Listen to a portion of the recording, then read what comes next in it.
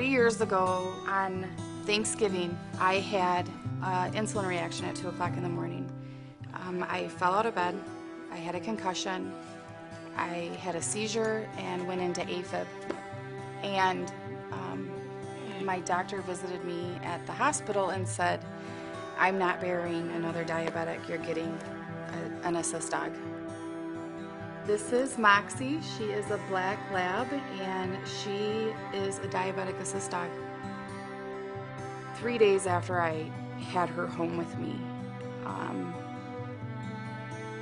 she woke me up at 4 o'clock in the morning. It just woke me up.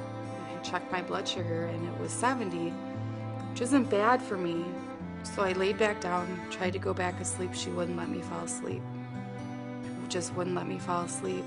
And eventually I got back up and checked it again. It was 32. So she knew and told me. I just, I, for somebody who's not gone through something like that, I can't, I can't explain it. Um, to know that that security is there, all I can say is thank you. Um, and those two words are never, ever going to be enough, ever, to express how much she's changed my life, my family's life.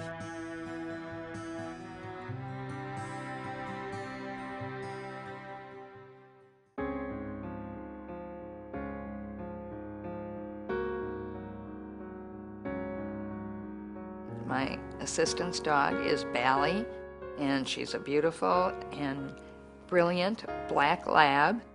Bally does a wonderful amount of things for me.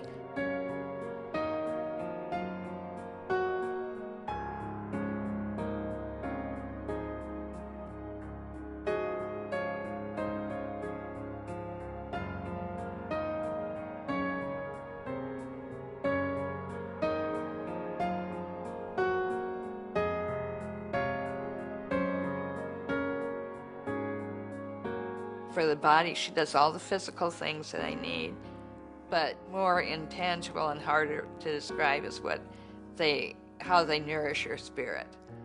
It's amazing when you know the investment that they do make in each dog. It makes it even more of a gift that you feel very blessed to have received a dog that so much attention has been given to and so much love even before you get it.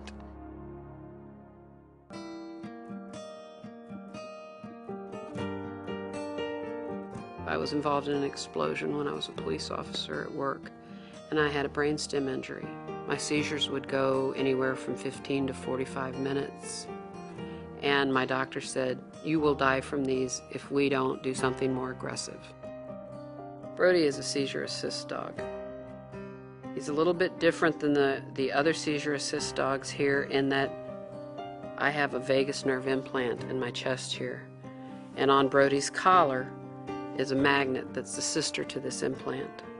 And what Brody does for me is once I seize, he crawls across my chest and he does his little snuggle here. And the magnet hits the implant and knocks the seizure out immediately.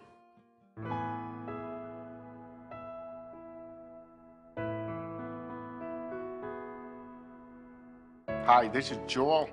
Uh, Joel is a rescue dog from Kansas, and she's a hearing assistant dog. One of the things is my hearing has gotten worse over the years. That's when I realized I really need someone that will alert me to sounds, and that makes me more secure when I know there's someone there that's listening for me. About 10 years ago, I had a fire in my house. If I was sleeping at the time, who knows what would happen. But now, if that happens today, hey, I got her to protect me, right, Joel?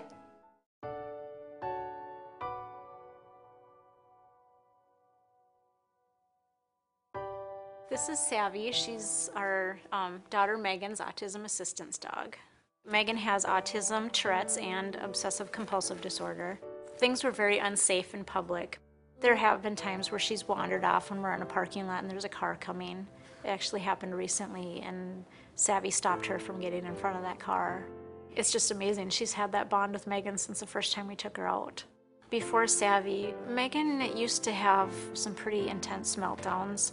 There have been times where we've gone out in public and it's happened, and you know, where you would just pray. Somebody would come up and ask you if you need help, and people would.